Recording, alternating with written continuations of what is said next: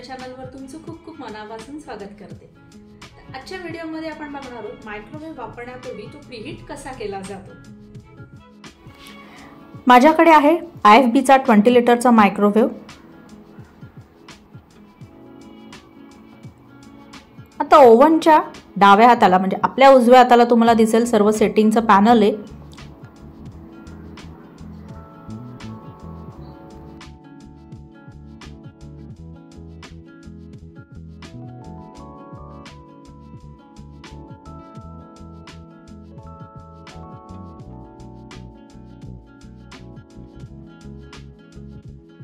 तर सगळ्यात आधी मी मायक्रोवेव्हचं मेन स्विच ऑन करणार आहे.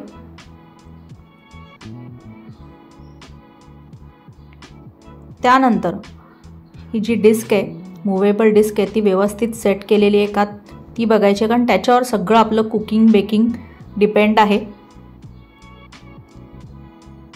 त्यानंतर प्रीहीट करण्याआधी या दोन गोष्टी बघूया.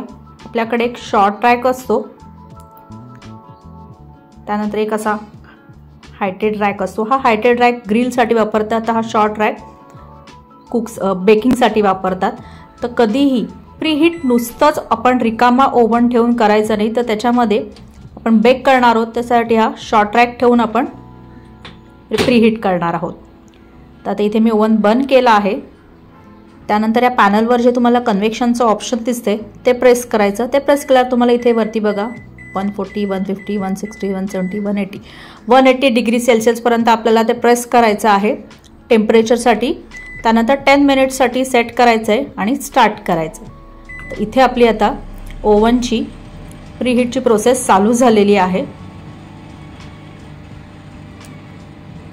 टेन मिनिट झाल्यानंतर म्हणजे दहा मिनिटानंतर ओव्हन परत थंड व्हायच्यात म्हणजे ऑलरेडी आपण त्याला हीट करून घेतलं तो आता थंड व्हायच्यात आपण जे काही बेकिंगच्या केकचं मोल्ड तयार केलेलं आहे ते पटकन हात सांभाळून रॅकवर ठेवायचं आहे पुन्हा ओव्हन बंद करायचं आहे.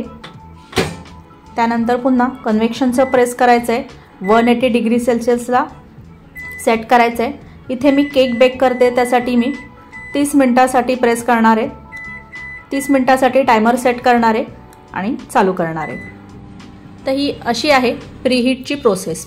तुम्ही जेव्हा बेकिंग करत असाल तर तुमचं ओव्हनच जर प्रीहीट झालेला नसेल तर तुमचा केक किंवा कुकीज जे काही बनवत असाल ते अजिबात हलकं किंवा फुलणार नाही.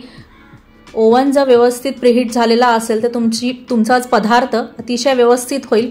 त्यासाठी ओव्हन हा प्रिहीट करणं अतिशय गरजेचं आहे आणि अतिशय साधी सोपी पद्धत आहे.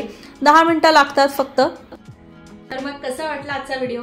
आजचा व्हिडिओ जर का युजफुल वाटला असेल तर नक्की लाईक करा आणि शेअर करा. चॅनलवर अजून नवीन नसाल चॅनल सबस्क्राईब केलं नसेल तर चॅनलला सबस्क्राईब करा आणि बेल आयकॉन प्रेस करा. म्हणजे मी ज्या व्हिडिओ अपलोड करेल त्या तुम्हाला नोटिफिकेशन येईल. थँक्यू